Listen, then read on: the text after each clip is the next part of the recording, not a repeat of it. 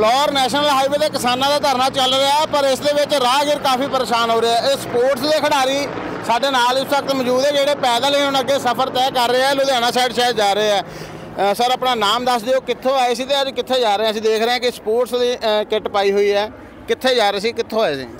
ਮੈਂ ਡਾਕਟਰ ਪ੍ਰਦੀਪ ਗੱਲ ਕਰ ਰਿਹਾ ਜੀ। ਇਸ ਵੇਲੇ ਸਾਡੇ ਨਾਲ ਜਲੰਧਰ ਦੀ ਸੌਫਟ ਟੈਨਿਸ ਦੀ ਟੀਮ ਹੈ। ਸਾਡੀ ਸਟੇਟ ਜਿਹੜੀ ਕਿ ਲੁਧਿਆਣੇ ਹੋ ਰਹੀ ਹੈ। ਤੇ ਥੋੜਾ ਜਿਹਾ ਮੈਨੂੰ ਲੱਗਦਾ ਸੀ ਲੇਟ ਹੋ ਗਏ। ਤੇ ਵਾਰਮ ਅਪ ਦਾ ਸੈਸ਼ਨ ਸਾਡਾ ਧਰਨੇ ਤੇ ਲਵਾਤਾ ਉਹਨਾਂ ਨੇ ਗੱਡੀ ਸਾਡੀ ਵਾਪਸ ਚਲੀ ਗਈ ਹੈ। ਹੁਣ ਜਾਣਾ ਤਾਂ ਹੈ ਖੇਡਣ ਤੇ ਪਰ ਹੁਣ ਸੋਚ ਰਹੇ ਕਿ ਕਿੱਦਾਂ ਜਾਵਾਂਗੇ ਪੈਦਲ ਤੁਰ ਪਿਆ ਦੇਖਦੇ ਜੇ ਗੱਡੀ ਮਿਲ ਗਈ ਤਾਂ ਠੀਕ ਹੈ ਨਹੀਂ ਤਾਂ ਕਿਸੇ ਵੀ ਤਰੀਕੇ ਨਾਲ ਮੈਚ ਤਾਂ ਖੇਡਾਂਗੇ ਜੀ। ਤੇ ਜੇ ਟਾਈਮ ਹੁਣ ਪੌਣੇ 12 ਦਾ ਆਈ ਥਿੰਕ ਟਾਈਮ ਹੋ ਗਿਆ ਨਾ। ਹਾਂਜੀ। 11 ਵਜੇ ਕਿਸਾਨਾਂ ਦਾ ਧਰਨਾ ਲੱਗਾ ਸੀਗਾ। ਅੱਜ ਪਤਾ ਸੀਗਾ ਜਿਵੇਂ ਕਾਲ ਵੀ ਦਿੱਤੀ ਹੋਈ ਸੀ। ਤੇ ਤੁਸੀਂ ਜਾਮ ਦੇ ਵਿੱਚ ਕਿੱਥੇ ਗੱਡੀ ਫਸ ਗਈ? ਆਪਣੀ ਗੱਡੀ ਦੇ ਵਿੱਚ ਸੀਗੇ ਜਾਂ ਬੱਸ ਦੇ ਸਾਡੀ ਵਿੱਚ ਆਪਣੀ ਗੱਡੀ ਸੀ ਮਾੜੀ ਕਿਸਮਤ ਸਾਡੀ ਗੱਡੀ ਖਰਾਬ ਹੋ ਗਈ ਪਿਛਲੇ 1 ਘੰਟੇ ਤੋਂ। ਇੱਕ ਗੱਡੀ ਸਾਡੀ ਨਿਕਲ ਗਈ ਜਿਹੜੀ ਮੇਨ ਟੀਮ ਦੇ ਪਲੇਅਰ ਸੀਗੇ 8 ਸਾਡੇ ਉਹ ਪਹੁੰਚ ਚੁੱਕੇ ਨੇ। ਤੇ ਬਾਕੀ ਸਾਡੇ ਨਾਲ ਤਿੰਨ ਅਸੀਂ ਅਫੀਸ਼ੀਅਲ ਦੋਨੇ ਤੇ ਅਸੀਂ ਉਹਨਾਂ ਨੂੰ ਮੈਸੇਜ ਕਰਤਾ ਕਿ ਅਸੀਂ ਲੇਟ ਪਹੁੰਚ ਰਹੇ ਹਾਂ ਪਰ ਹੁਣ ਜਿਹੜੀ ਪਰੇਸ਼ਾਨੀ ਹੈ ਉਹ ਤਾਂ ਹੈ ਹੀ ਹੈ। ਤੇ ਧਰਨੇ ਮਜਾਰੇ ਕਰਕੇ ਅਸੀਂ ਦੇਖਿਆ ਕਈ ਬੱਚੇ ਛੋਟੇ ਛੋਟੇ ਬੱਚੇ ਸੀ ਬੱਸ ਬੱਸ- ਵੀ ਕਾਫੀ ਫਸੀਆਂ ਹੋਈਆਂ ਪਿੱਛੇ ਰੋਡਵੇਜ਼ ਦੀਆਂ ਬੱਸਾਂ ਹੈਗੀਆਂ।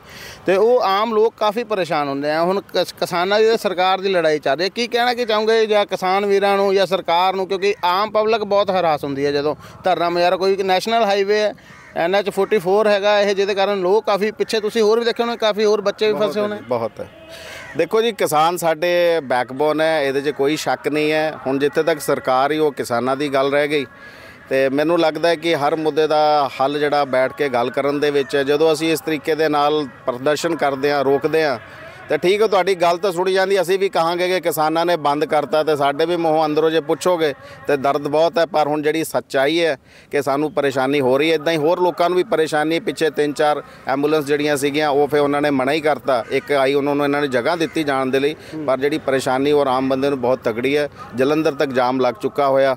ਅਸੀਂ ਵੀ ਲੇਟ ਹੋ ਗਏ ਸੀ, ਸਾਨੂੰ ਆਈਡੀਆ ਸੀਗਾ, ਪਰ ਸਾਡੀ ਗੱਡੀ ਖਰਾਬ ਹੋਣ ਕਰਕੇ ਬਹੁਤ ਲੋਕ ਜਿਹੜੇ ਪਿੱਛੇ ਪਰੇਸ਼ਾਨ ਨੇ ਹੁਣ ਦੇਖਦੇ ਕਿ ਪਰੇਸ਼ਾਨੀ ਦਾ ਕੀ ਹੱਲ ਨਿਕਲਦਾ। ਤੁਸੀਂ ਹੁਣ ਇੱਥੋਂ ਚੱਲ ਤਾਂ ਪਏ ਆ ਅੱਗੇ ਤੁਹਾਨੂੰ ਲੱਗਦਾ ਕਿ ਕੋਈ ਕਨਵੈਂਸ ਮਿਲੋਗੇ ਲੁਧਿਆਣਾ ਪਹੁੰਚਣਾ ਇੱਥੋਂ ਲੁਧਿਆਣਾ ਕਰੀਬ 20 ਤੋਂ 22 ਕਿਲੋਮੀਟਰ ਦੂਰ ਹੈ। ਅਸੀਂ ਖਿਡਾਰੀਆਂ ਤੇ ਜੀ ਅਸੀਂ ਇਹ ਸੋਚ ਲਿਆ ਕਿ ਅਸੀਂ ਪੈਦਲ ਹੀ ਪਹੁੰਚਾਂਗੇ ਤੇ ਸਾਡਾ ਵੀ ਆਪਣਾ ਇੱਕ ਕੀ ਕਹਿੰਦੇ ਏਮ ਹੈ ਜੇ ਇਹਨਾਂ ਦਾ ਏਮ ਹੈ ਤੇ ਧਰਨਾ ਲਾਣਾ ਧਰਨਾ ਲਾ ਕੇ ਸਰਕਾਰ ਮਨਾਣੀ। ਅਸੀਂ ਆਪਦੇ ਪਲੇਅਰਾਂ ਨੂੰ ਮਨਾਣਾ ਤੇ ਅਸੀਂ ਖੇਡਣਾ ਤੇ ਇਸ ਲਈ 18 ਕਿਲੋਮੀਟਰ ਜੇ ਚੱਲਣਾ ਵੀ ਪਿਆ ਨਾ ਸਾਡੀ ਟੀਮ ਚੱਲ ਪਏਗੀ। ਕਿਉਂ ਬਈ ਚੱਲ ਪੋਗੇ ਨਾ?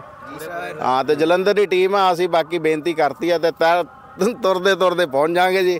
ਪਰ ਜਿਹੜੀ ਦਿੱਕਤ ਹੈ ਉਹ ਤਾਂ ਹੈ। ਇਹ 'ਚ ਕੋਈ ਸ਼ੱਕ ਨਹੀਂ ਹੈ। ਧਰਨੇ ਕਰਕੇ ਪਰੇਸ਼ਾਨੀ ਹੈ ਪਰ ਸਾਡੇ ਵੱਲੋਂ ਵੀ ਤੁਹਾਡੀ ਟੀਮ ਨੂੰ ਬੈਸਟ ਆਫ ਲੱਕ ਹੈ ਜੀ। ਤੁਸੀਂ ਜਿੱਥੇ ਚੱਲਨੇ ਆ ਜਿੱਤ ਕੇ ਆਓ ਸਾਡੇ ਵੱਲੋਂ ਵੀ ਇਹ ਹੈ। ਸੁਣਿਆ ਤੁਸੀਂ ਕਿ ਤਸਵੀਰਾਂ ਦਿਖਾ ਦੇਣਾ ਕਿ ਪੈਦਲ ਹੀ ਹੁਣ ਸਫ਼ਰ ਤੈਅ ਕਰ ਰਹੇ ਆ।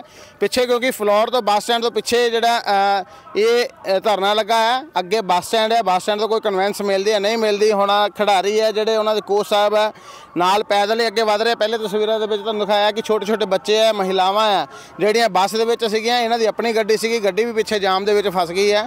ਇਹ ਮੇਰੇ ਬੈਕ ਸਾਈਡ ਤੁਸੀਂ ਦੇਖਦੇ ਆ ਪਿੱਛੇ ਧਰਨਾ ਚੱਲ ਰਿਹਾ ਉਸ ਤੋਂ ਹੁਣ ਪੈਦਲ ਹੀ ਲੋਕ ਅੱਗੇ ਨਿਕਲ ਰਹੇ ਕਿਉਂਕਿ ਕੋਈ ਵੀ ਗੱਡੀ, ਬੱਸ ਜਾਂ ਹੋਰ ਵੀ ਜਿਹੜੀ ਐਂਬੂਲੈਂਸ ਤੋਂ ਇਲਾਵਾ ਜਾਂ ਹੋਰ ਜ਼ਰੂਰੀ ਸੇਵਾਵਾਂ ਤੋਂ ਇਲਾਵਾ ਕੋਈ ਵੀ ਜਿਹੜਾ ਵਾਹਨ ਹੈ ਜਾਂ ਦੋ ਪਹੀਆ, ਚਾਰ ਪਹੀਆ ਵਾਹਨ ਹੈ, ਉਹ ਅੱਗੇ ਹੁਣ ਕਿਸਾਨਾਂ ਵੱਲੋਂ ਨਹੀਂ ਲੰਘਣ ਦਿੱਤਾ ਜਾ ਰਿਹਾ। ਇਸ ਧਰਨੇ ਕਾਰਨ ਜਿਹੜਾ ਆ, ਰਾਹਗੀਰ ਕਾਫੀ ਪਰੇਸ਼ਾਨ ਹੋ ਰਿਹਾ ਕੈਮਰਾਮੈਨ ਹਨੀ ਦੇ ਨਾਲ ਮਨੀਸ਼ ਬਾਵਾ, ਪੀਟੀਸੀ ਨਿਊਜ਼, ਫਿਲੌਰ।